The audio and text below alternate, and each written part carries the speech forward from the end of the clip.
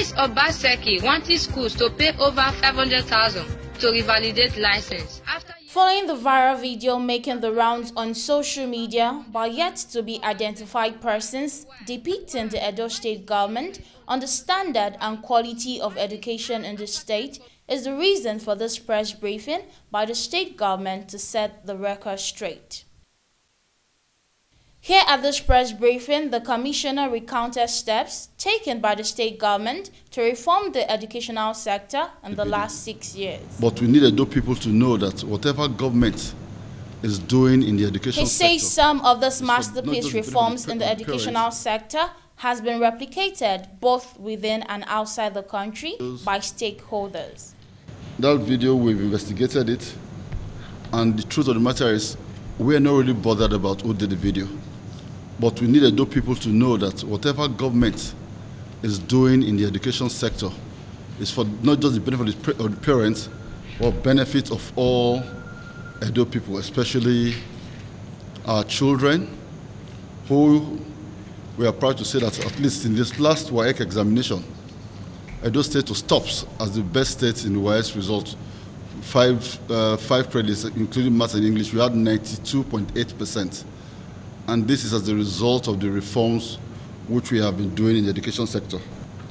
But these reforms too cannot be holistic if it's restricted only to government uh, schools or only government controlled schools.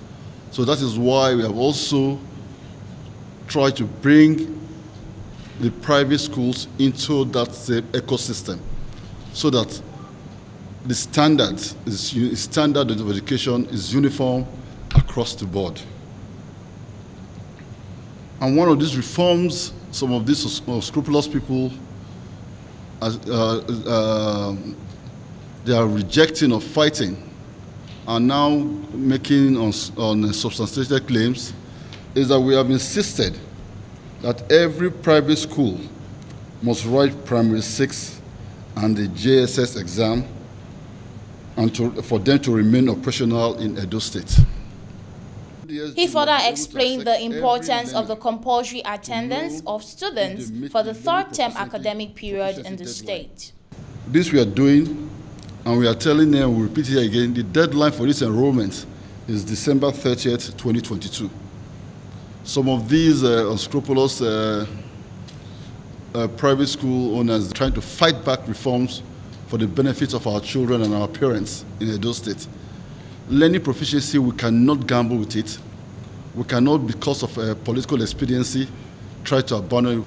And today, like I said, we're very proud that in this year's 2022 WAEC, we were first With this set goals by the state government in the educational sector, perhaps the need for all hands to be on deck is now.